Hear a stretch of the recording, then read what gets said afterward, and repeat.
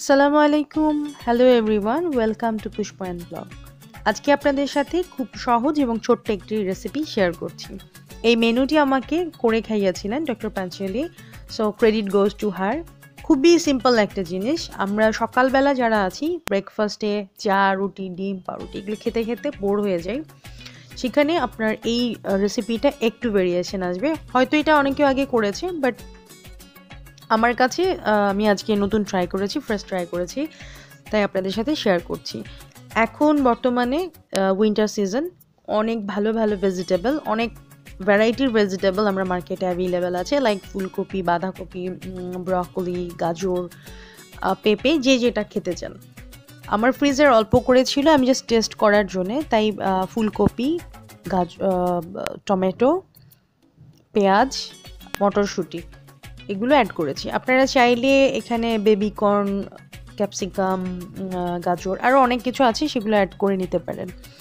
তো প্রথমে আমরা এগুলো অল্প পানির মধ্যে একটু করে লবণ দিয়ে পাঁচ মিনিটের মতো সেদ্ধ করে নেব। সেদ্ধ করে পানিটাকে ঝরিয়ে রাখব। দেন ফ্রাই প্যানে আমরা অল্প একটু তেল দিয়ে এইভাবে করে রুটিগুলো দেখুন কেটে রেখেছি। রুটিগুলো হাত দিয়েও ছিঁড়ে রাখা যায়।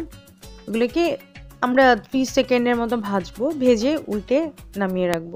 অ্যান্ড দেন আবার টেবিল স্পুনে আমরা দুই টেবিল স্পুন গরম তেল দিয়ে এর মধ্যে সেদ্ধ করে রাখা সবজিগুলো দিয়ে নেড়ে এর মধ্যে রুটিগুলো, ভেজে রাখা রুটিগুলো দিয়ে এক মিনিট মতো নেড়ে চেড়ে নামিয়ে ফেলব।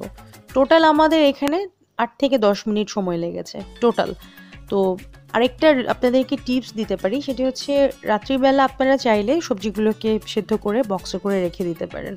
এভাবে দু তিন দিন করেও রাখা যায়।